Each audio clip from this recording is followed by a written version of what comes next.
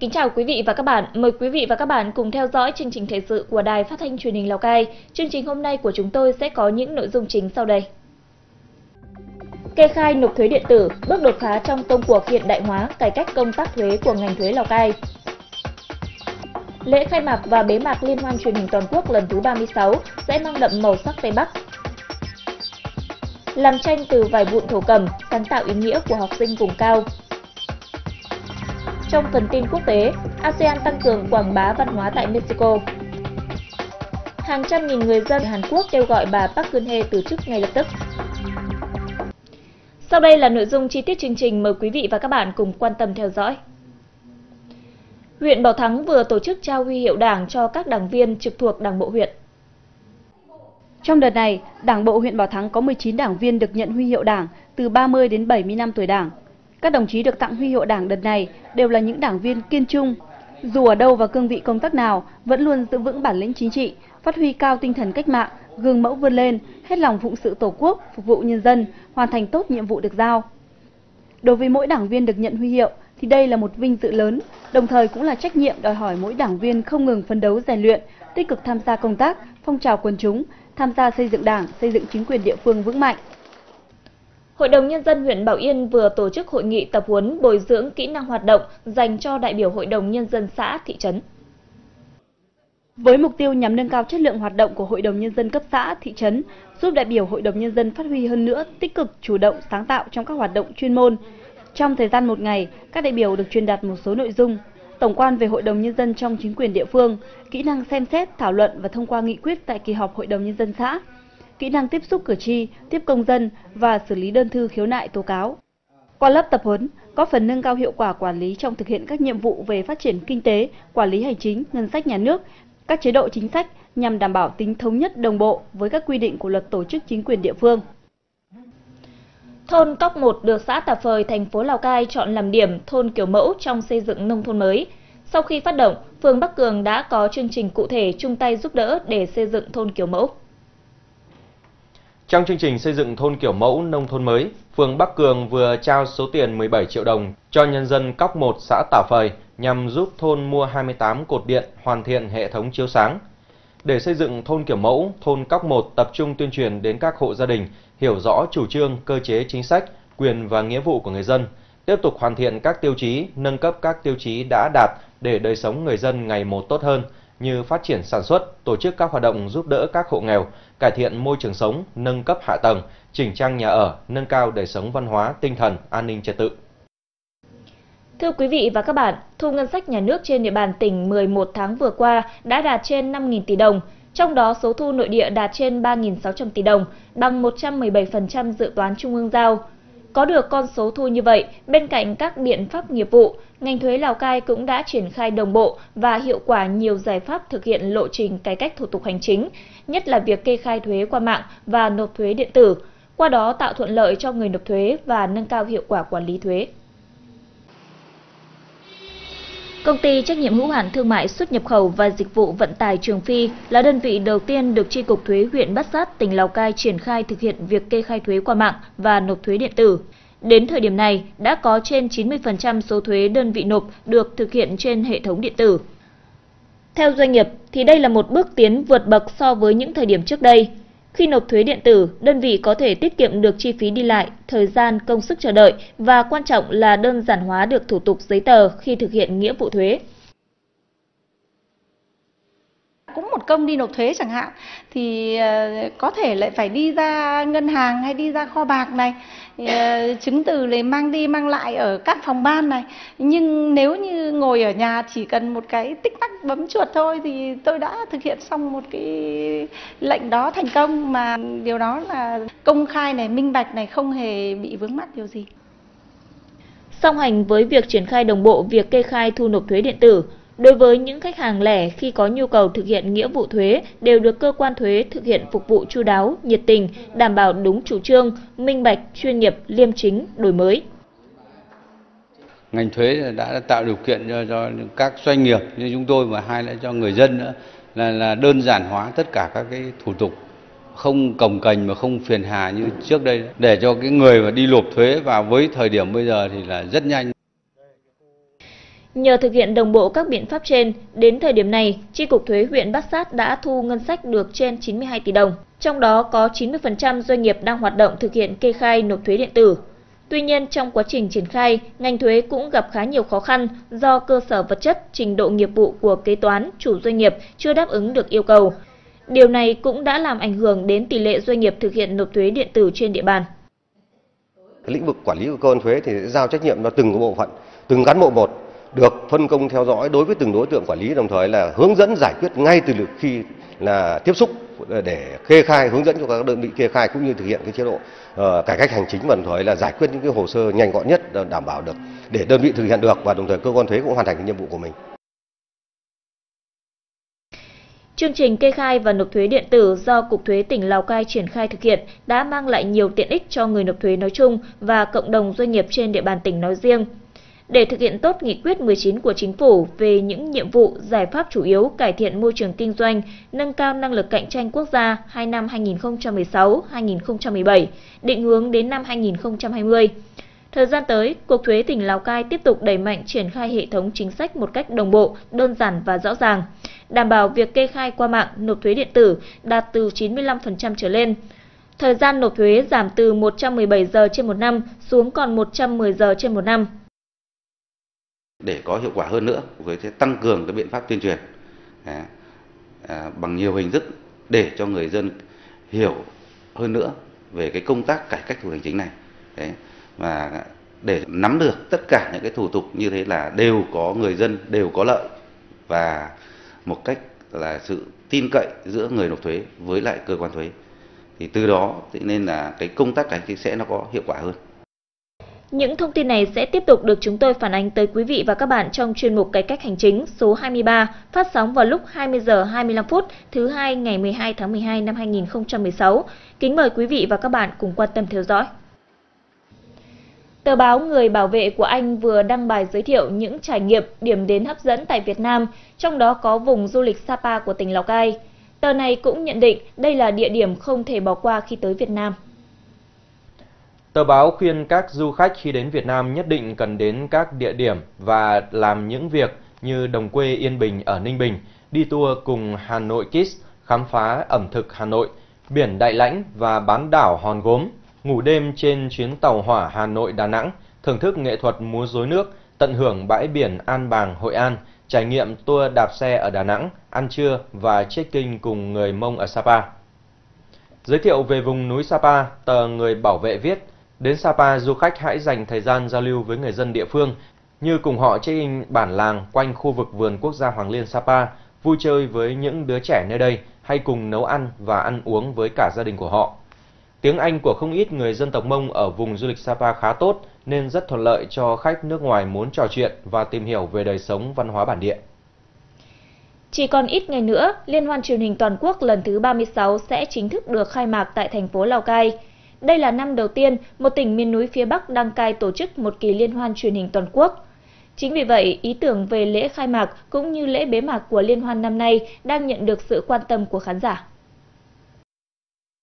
Liên hoan truyền hình toàn quốc lần thứ 36 do tỉnh Lào Cai đăng cai tổ chức sẽ diễn ra từ ngày 21 đến ngày 24 tháng 12 tại thành phố Lào Cai, với sự tham gia của nhiều đơn vị làm truyền hình trên cả nước – Ý tưởng xuyên suốt liên hoan năm nay là về ngày hội của những người làm truyền hình, được thể hiện rõ nét qua các tiết mục văn nghệ với sự tham gia của các ca sĩ trưởng thành từ những cuộc thi của Đài truyền hình Việt Nam. Họ sẽ thể hiện những ca khúc viết về những người làm truyền hình. Một số gương mặt nổi bật của cuộc thi Sao Mai cũng sẽ tham gia biểu diễn tại lễ khai mạc và bế mạc của Liên hoan truyền hình toàn quốc lần thứ 36, trong đó có quán quân dòng nhạc Thính Phòng năm 2014, ca sĩ Giàng Thị Hoa người Mông, các tiết mục văn nghệ sẽ thể hiện được màu sắc văn hóa của vùng đất Tây Bắc và hứa hẹn để lại ấn tượng sâu đậm trong lòng các đại biểu tham dự liên hoan năm nay. Đoàn thanh niên Ngân hàng Quân đội chi nhánh Trần Duy Hưng Hà Nội đã phối hợp với Tổ công tác Công an tỉnh Lào Cai tổ chức chương trình tình nguyện cùng em đến trường tại xã Pa Treo, huyện Bát Sát, tỉnh Lào Cai. Tại điểm trường tiểu học thôn Tả Pa Treo, đoàn đã trao 101 xuất quà và nhiều sách vở, bút cho 101 em học sinh. Đoàn cũng đã đến trường phổ thông dân tộc bán chú trung học cơ sở Pa Treo trao 210 chiếc đệm, 260 chiếc cặp lồng cho học sinh bán chú với tổng trị giá trên 85 triệu đồng. Đây là hoạt động hết sức có ý nghĩa, góp phần thiết thực để giúp đỡ, cùng chia sẻ những khó khăn cũng như động viên khích lệ tinh thần học tập cho các em học sinh nghèo tiếp tục vươn lên đạt kết quả cao hơn nữa trong học tập. Thưa quý vị và các bạn, năm học 2016-2017, trường phổ thông dân tộc bán chú Trung học cơ sở Lùng Phình, huyện Bắc Hà được tỉnh đoàn Lào Cai chọn làm điểm triển khai mô hình vườn rau cho em. Đây là mô hình có ý nghĩa hết sức to lớn cả về giá trị kinh tế và công tác giáo dục đạo đức, lối sống, thể hiện ý chí, nguyện vọng của đoàn viên thanh niên trong nhà trường. Thực hiện mô hình, Ban chấp hành liên đội của nhà trường đã huy động đội viên ở bán chú cải tạo 1.200 m2 đất vườn, dưới tán mận cằn cỗi thành vườn rau. Phân khu vực cho từng chi đội trồng rau theo mùa vụ dưới sự hướng dẫn của giáo viên chủ nhiệm lớp. Sau mỗi buổi chiều, sau các giờ học trên lớp, các em học sinh trường phổ thông dân tộc bán chú trung học cơ sở Lùng Phình tự giác tranh thủ thời gian cùng nhau chăm sóc vườn rau. Từ việc cuốc đất, lên luống, gieo hạt, nhổ cỏ, bón phân đều được các em thực hiện thuần thục. Cuối tuần, mỗi học sinh về thăm nhà lại mang theo món quà giá trị là 1 kg rau sạch do chính các em trồng và chăm sóc. Từ khi em được tham gia vườn rau mô hình cho em thì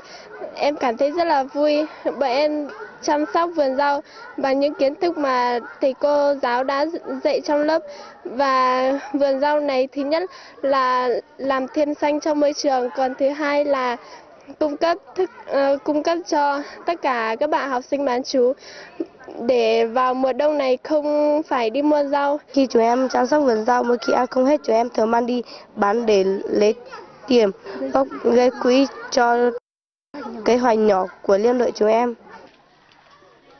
Việc học sinh tham gia lao động sản xuất không chỉ tạo ra nguồn thực phẩm phục vụ cho chính bản thân mình, mà các em còn được rèn luyện kỹ năng lao động, kỹ năng sống, kỹ năng sinh hoạt tập thể, từ đó hiểu được ý nghĩa của lao động, biết trân trọng những gì mình đã làm ra. Không chỉ vậy, mô hình còn góp phần duy trì sĩ số, nâng cao chất lượng dạy và học ở nhà trường. Việc làm của các em tuy nhỏ nhưng đã và đang cụ thể hóa một phong trào do Hội đồng đội các cấp phát động. Khi mà nhà trường tự chủ được cái nguồn rau sạch cho học sinh ấy, thì là cái thứ nhất là cái lượng rau các em ăn sẽ được tăng cường hơn so khi ta mua ngoài chợ. Nhưng mà bàn tay của các em trồng ra thì có thể nói là lượng rau các em được ăn tăng lên. À, đấy là cái thứ nhất. Cái thứ hai nữa về an toàn thực phẩm hoặc là an toàn trong cái khâu à, vệ sinh về rau thì chúng ta yên tâm vì chính bàn tay chúng ta trồng cho nên chúng ta kiểm soát được cái nguồn à, thực phẩm chúng ta sử dụng. Nhờ phát triển được vườn rau bán chú trong nhiều năm nay, nên bữa ăn của học sinh nội trú liên tục được cải thiện. Tuy nhiên, lợi ích mà nhà trường có được nhiều hơn là có một môi trường học tập, lao động tập thể với những bài học bổ ích đối với học sinh, giúp các em gắn bó với trường với lớp hơn. Thưa quý vị và các bạn, bằng những sự sáng tạo tuyệt vời của mình, học sinh vùng cao Lào Cai đã có nhiều ý tưởng độc đáo và cho ra đời những sản phẩm có ý nghĩa thiết thực với cuộc sống thường ngày. Trong phóng sự dưới đây, chúng tôi sẽ giới thiệu đến quý vị và các bạn một sáng tạo hết sức độc đáo của một học sinh người Mông tại Sapa, đã đạt giải trong cuộc thi sáng tạo thanh thiếu niên nhi đồng toàn quốc năm 2016. Từ những ký ức về bà nội, mỗi ngày đều miệt mài ngồi bên khung cửi để thêu thổ cầm.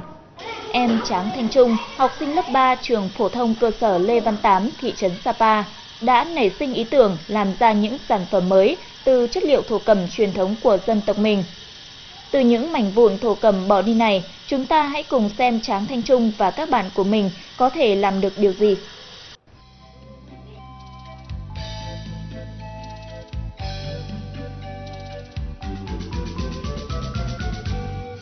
Yêu trường em với bao bạn thân và cô giáo hiền như yêu quê hương. Cắp sách đến trường trong muôn vàn yêu thương.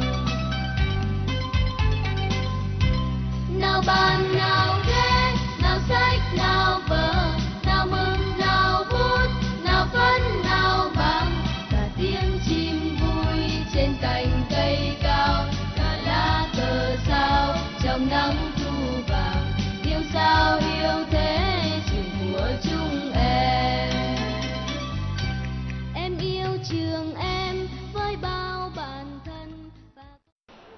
À, và đây là thành quả sáng tạo sau gần một giờ đồng hồ của Trắng Thanh Trung và các bạn của mình. Một món quà rất ý nghĩa dành cho các thầy cô giáo nhân dịp 20 tháng 11. Quý vị và các bạn thấy bức tranh này như thế nào ạ? À, vâng, và bây giờ để đánh giá khách quan hơn về sản phẩm sáng tạo này thì chúng tôi sẽ theo chân các bạn nhỏ đến gặp những vị giám khảo rất đặc biệt. Đó chính là những du khách đang có mặt tại khu du lịch Sapa.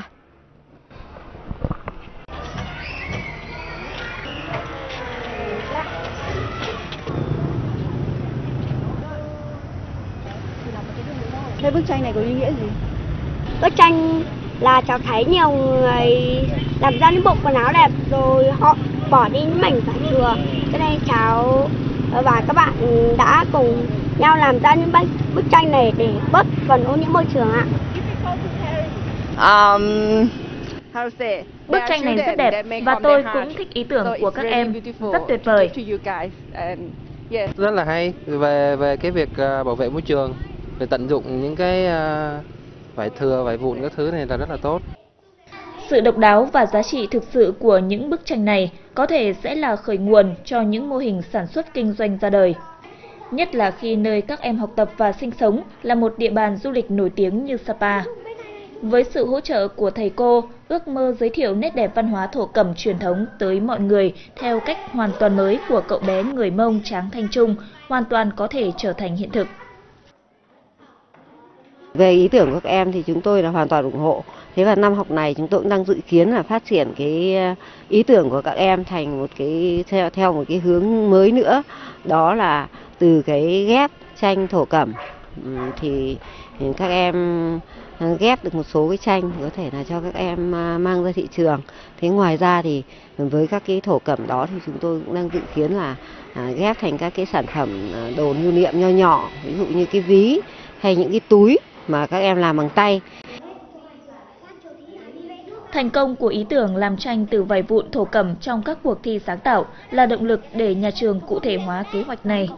Năm học vừa qua, câu lạc bộ Em yêu thổ cẩm đã được thành lập và bước đầu đi vào hoạt động. Một câu lạc bộ thực sự có ý nghĩa và thu hút rất đông học sinh tham gia. Khi bạn Trung đưa ra ý tưởng làm bức tranh bằng những mảnh vải này thì em cũng rất là đồng ý bởi vì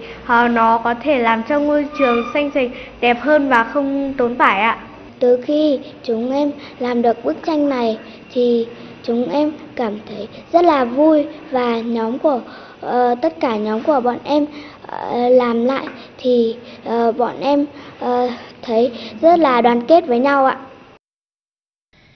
Tráng Thanh Trung chỉ là một trong số hàng trăm học sinh hoặc nhóm các bạn học sinh người dân tộc thiểu số ở các trường học vùng cao Lào Cai đã đưa ra được những ý tưởng sáng tạo và biến nó thành những mô hình, những sản phẩm cụ thể. Những sáng tạo nhỏ được tạo ra từ cuộc sống còn chịu nhiều thiệt thòi, thiếu thốn hôm nay cũng hoàn toàn có thể là sự khởi đầu cho nguồn năng lượng sáng tạo vô hạn, nâng cánh cho ước mơ của các bạn nhỏ người dân tộc thiểu số ở vùng cao bay cao, bay xa. Tiếp theo chương trình mời quý vị và các bạn cùng theo dõi mục Lào Cai 7 ngày, cùng điểm lại những tin tức sự kiện đáng chú ý diễn ra trong tuần qua.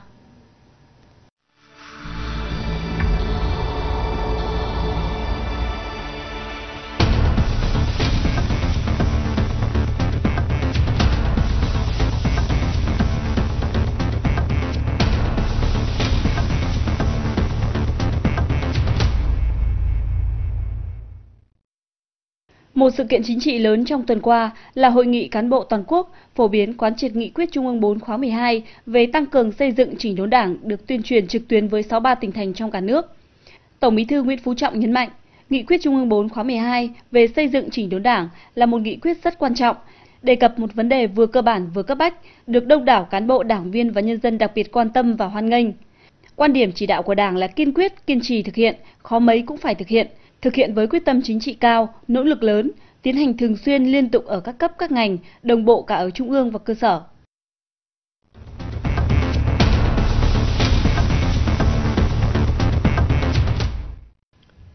Tuần qua tại Trung tâm Hội nghị tỉnh Lào Cai, tỉnh Lào Cai đã tổ chức lễ trao tặng huân huy chương của nước Cộng hòa Dân chủ Nhân dân Lào cho cán bộ, chuyên gia, quân tình nguyện Việt Nam tại tỉnh Lào Cai. Trải qua hai cuộc kháng chiến, quân tình nguyện Việt Nam đã phát huy truyền thống quân đội anh hùng, vượt qua muôn vàn hy sinh gian khổ, chiến đấu bên cạnh lực lượng vũ trang của cách mạng Lào. Riêng tỉnh Lào Cai đã có hàng nghìn người con đứng trong hàng ngũ các đơn vị quân tình nguyện và chuyên gia quân sự giúp cách mạng Lào. Việc trao tặng huân huy chương cho các cựu quân nhân gia đình liệt sĩ của tỉnh Lào Cai không chỉ là niềm vinh dự tự hào của bản thân gia đình quân nhân mà còn là niềm vinh dự của Đảng bộ, chính quyền và nhân dân các dân tộc tỉnh Lào Cai.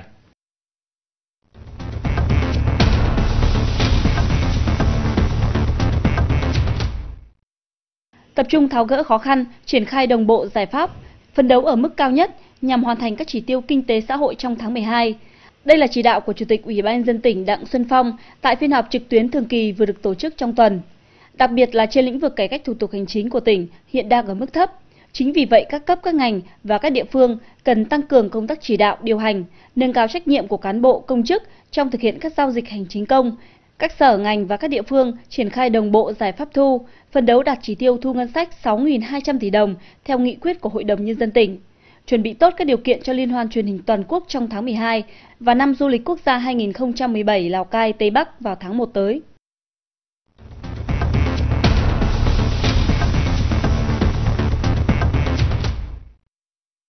Thời gian qua tại một số địa phương trong cả nước xảy ra nhiều vụ tai nạn giao thông dẫn đến chết người liên quan đến phương tiện xe tự chế chở hàng công cành. Qua đó gióng lên hồi chuông cảnh báo về tình hình mất an toàn giao thông do loại phương tiện này gây ra. Tại thành phố Lào Cai, tình trạng xe thô sơ, xe ba bánh tự chế chở hàng công cành vẫn diễn ra trên nhiều tuyến đường, đòi hỏi sự quản lý chặt chẽ của các lực lượng chức năng và ý thức chấp hành của mọi người để đảm bảo an toàn cho những người tham gia giao thông cũng như giữ gìn mỹ quan văn minh đô thị của thành phố.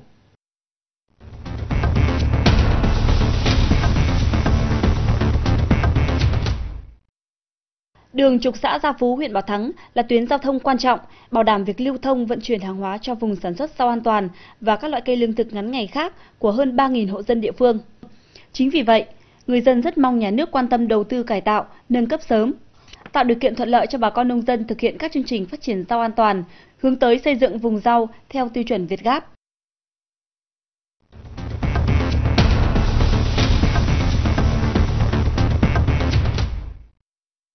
Ngoại ngữ vẫn được ví là chìa khóa vàng để hội nhập quốc tế, nên việc dạy học ngoại ngữ hiện nay là rất cần thiết và quan trọng. Tuy nhiên, do nhiều nguyên nhân khác nhau nên chất lượng dạy và học môn học này trong các trường, đặc biệt là các trường thuộc khu vực vùng cao vẫn thấp. Do vậy, bên cạnh việc đầu tư về cơ sở vật chất với các phòng học chức năng, trang thiết bị hiện đại phục vụ công tác dạy và học tại các trường học vùng cao thì cũng cần nâng cao nhận thức cho học sinh và phụ huynh học sinh về vị trí, ý nghĩa, tầm quan trọng của tiếng Anh trong cuộc sống học tập. Có như vậy, chất lượng hiệu quả dạy và học môn tiếng Anh ở các trường thuộc khu vực vùng cao mới không ngừng được nâng lên, từng bước góp phần thực hiện thành công đề án ngoại ngữ quốc gia năm 2020 của Bộ Giáo dục và Đào tạo.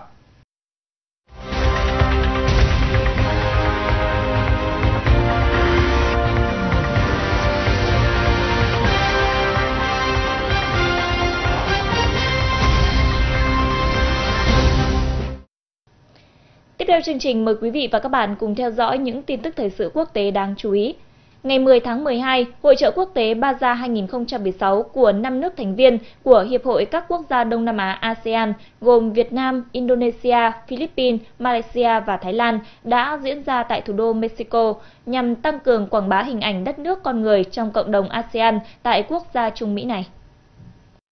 Phát biểu khai mạc hội trợ Baza, Đại sứ Việt Nam tại Mexico Lê Linh Lan nhấn mạnh Hội trợ là dịp để các nước thúc đẩy giao lưu văn hóa và quảng bá hình ảnh đất nước con người của những quốc gia thành viên, đồng thời nâng cao sự hiểu biết và thắt chặt hơn nữa quan hệ hữu nghị và hợp tác giữa ASEAN và Mexico.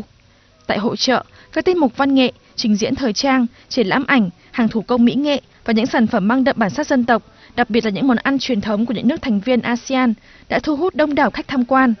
Đặc biệt, không gian văn hóa của Việt Nam đã lôi cuốn bạn bè Mexico và quốc tế với các sản phẩm thủ công mỹ nghệ độc đáo, ẩm thực hấp dẫn, trang phục truyền thống như áo dài, nón lá và sách du lịch. Sau 3 ngày tham vấn với lãnh đạo các chính đảng, Tổng thống Italia Mattarella tối ngày 10 tháng 12 cam kết rằng trong những giờ tới, ông sẽ quyết định ai sẽ là người làm thủ tướng kế tiếp của Italia nhằm giải quyết cuộc khủng hoảng chính trị ở nước này. Theo truyền thông địa phương, không loại trừ trường hợp ông Matteo Renzi có thể được tái bổ nhiệm làm thủ tướng. Phát biểu trước báo giới, Tổng thống Mattarella nhấn mạnh Italia cần có một chính phủ mới càng sớm càng tốt nhằm giải quyết các vấn đề của nước này, như hệ thống ngân hàng đang gặp rắc rối, những thành phố bị động đất tàn phá đang cần được tái xây dựng. Tuy nhiên, bất kỳ một chính phủ mới nào cũng phải nỗ lực thúc đẩy nhằm cải cách luật bầu cử của Italia trước khi một cuộc tổng tuyển cử được tiến hành. Tôi đã lắng nghe ý kiến của tất cả các đại biểu quốc hội một cách chăm chú nhất và với sự tôn trọng. Tôi sẽ lưu ý đến các ý kiến và đề xuất đó. Trong những giờ tới, tôi sẽ đánh giá chi tiết các cuộc họp và tôi sẽ chọn ra những sáng kiến cần thiết để giải quyết khủng hoảng chính trị hiện nay. Ông Mattarella cũng sẽ phải quyết định xem liệu Thủ tướng sắp tới được bổ nhiệm có thể lãnh đạo đất nước đến cuộc tổng tuyển cử đúng kỳ hạn vào năm 2018 hay chính phủ mới sẽ chỉ điều hành đất nước đến đầu năm sau và tổ chức bầu cử sớm. Truyền thông Mỹ ngày 10 tháng 12 đưa tin, Chủ tịch và Giám đốc điều hành của hãng ExxonMobil, ông Rex Tillerson là lựa chọn hàng đầu của Tổng thống đắc cử Mỹ Donald Trump cho vị trí Ngoại trưởng Mỹ.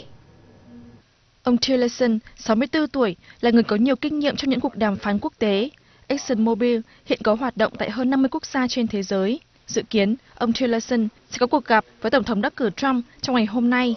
Trong khi đó, cựu đại sứ Mỹ tại Liên Hợp Quốc John Bolton có thể sẽ được đề cử là Thứ trưởng Ngoại giao.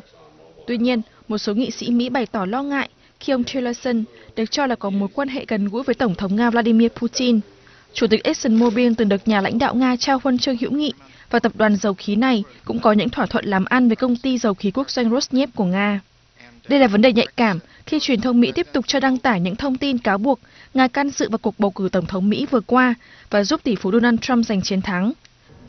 Một ngày sau khi Quốc hội Hàn Quốc bỏ phiếu thông qua việc luận tội Tổng thống Park Geun-hye, ngày 10 tháng 12, hàng trăm nghìn người dân Hàn Quốc đã tập trung ở thủ đô Seoul để kêu gọi bà Park Geun-hye từ chức ngay lập tức. Các nhà tổ chức ước tính có khoảng 500.000 người tham gia cuộc biểu tình. Đây là cuộc biểu tình thứ bảy trong nhiều tuần qua. Khác với các sự kiện trước đó, cuộc biểu tình mới có tính chất ăn mừng quyết định của Quốc hội ủng hộ kiến nghị luận tội bà Park Geun-hye. Tuy nhiên, một nhóm nhỏ những người ủng hộ bà Park, trong đó hầu hết là những người trên 60 tuổi, cũng tập trung gần văn phòng tổng thống để phản đối quyết định luận tội bà. Trước đó ngày 9 tháng 12, Quốc hội Hàn Quốc đã thông qua kiến nghị luận tội tổng thống Park Geun-hye. Theo đó, bà Park ngay lập tức bị đình chỉ tạm thời chức vụ tổng thống. Thủ tướng đương nhiệm Hoàng Kyonan đã thay thế bà Park tạm thời lãnh đạo đất nước. Tòa án hiến pháp sẽ có thời hạn 180 ngày để xem xét và ra phán quyết cuối cùng đối với đề xuất luận tội tổng thống. Liên quan tới cuộc chiến tại Syria, truyền thông quốc tế ngày 10 tháng 12 đưa tin, tổ chức nhà nước Hồi giáo IS tự xưng đã bất ngờ giành lại quyền kiểm soát nhiều khu vực thuộc thành phố cổ Palmyra. Theo Tổ chức Giám sát Nhân quyền Syria, phiến quân IS đã vào Palmyra sau khi chúng chiếm được các điểm cao chiến lược gần thành phố này và kiểm soát được phần phía bắc của thành phố cùng những ngọn núi xung quanh. Cùng ngày, IS tuyên bố đã bắn rơi một máy bay chiến đấu của chính quyền Syria ở gần Palmyra. IS khẳng định đã bắn hạ chiếc máy bay ở gần mỏ dầu Jazan, phía tây Palmyra, nơi có những tàn tích nổi tiếng 2.000 năm tuổi. Trong khi đó, một nguồn tin địa phương xác nhận rằng chiếc máy bay bị rơi là loại MiG-23. Trong khi đó, quân đội Syria đang giành những thắng lợi quan trọng tại thành phố miền Bắc Aleppo. Phía Nga thông báo quân chính phủ Syria đã giành lại hơn 90% thành phố này, vốn là thành trì của lực lượng nổi dậy kể từ năm 2012. Giới phân tích cho rằng việc giành quyền kiểm soát Aleppo có thể là chìa khóa để giành thắng lợi trong toàn bộ cuộc chiến tại Syria. Các nguồn tin an ninh cho biết một vụ đánh bom doanh trại quân đội ở thành phố Aden, miền nam Yemen ngày 10 tháng 12 đã khiến ít nhất 40 binh sĩ thiệt mạng và khoảng 70 người khác bị thương. Theo nguồn tin trên, vụ nổ xảy ra khi hàng trăm binh sĩ đang tập trung để nhận lương hàng tháng tại doanh trại Ansar Balaban, gần sân bay quốc tế của thành phố này. Hiện chưa có tổ chức nào thừa nhận tiến hành vụ đánh bom, nhưng khu vực trên là địa bàn hoạt động tích cực của các phần tử thánh chiến. Yemen rơi vào tình trạng hỗn loạn kể từ khi phiến quân Houthi và các lực lượng đồng minh chiếm giữ nhiều vùng lãnh thổ của Yemen, trong đó có thủ đô Sanaa. Tháng 3 năm 2015, Liên quân Ả Rập do Ả Rập Xê Út dẫn đầu đã tiến hành can thiệp quân sự nhằm hỗ trợ chính quyền được cộng đồng quốc tế công nhận của Tổng thống Hadi. Quý vị và các bạn vừa theo dõi những tin tức thời sự của Đài Phát thanh Truyền hình Lào Cai. Cảm ơn sự quan tâm theo dõi của quý vị và các bạn. Xin kính chào và hẹn gặp lại.